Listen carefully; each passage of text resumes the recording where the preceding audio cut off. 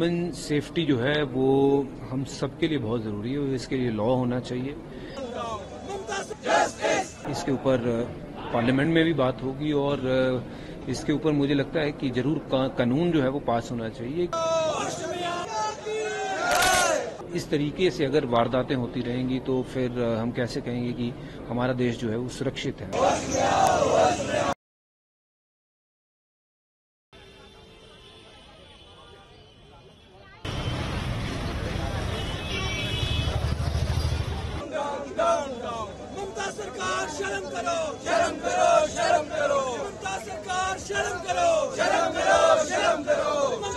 इसके ऊपर पार्लियामेंट में भी बात होगी और इसके ऊपर मुझे लगता है कि ज़रूर कानून जो है वो पास होना चाहिए।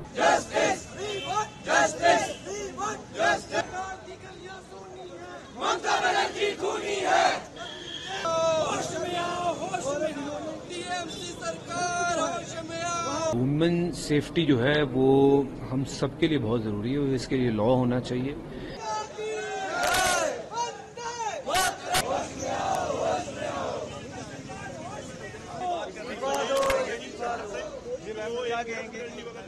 इस तरीके से अगर वारदातें होती रहेंगी तो फिर हम कैसे कहेंगे कि हमारा देश जो है वो सुरक्षित है।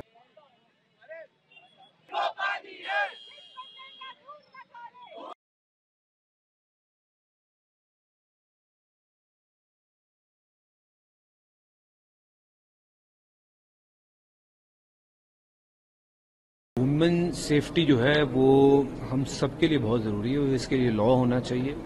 और इसके ऊपर पार्लियामेंट में भी बात होगी और इसके ऊपर मुझे लगता है कि ज़रूर कानून जो है वो पास होना चाहिए कि इस तरीके से अगर वारदातें होती रहेंगी तो फिर हम कैसे कहेंगे कि हमारा देश जो है वो सुरक्षित है, हमारी माताओं के लिए, बहनों के लिए। वो भी हमारी ही बेटी थी जिसके साथ ये हशर हुआ है। तो मेरे ख्याल से इसको बहुत ही गंभीरता से लेना चाहिए और इसको पॉलिटिकल मुद्दा नहीं बनाना चाहिए सबको इकट्ठे मिलके इसके ऊपर जो है वो एक कानून बनाना चाहिए, जो कि बहुत सख्त कानून हो, ताकि कोई भी दरिंदा ऐसी हरकत करने से पहले हज़ार बार सोचे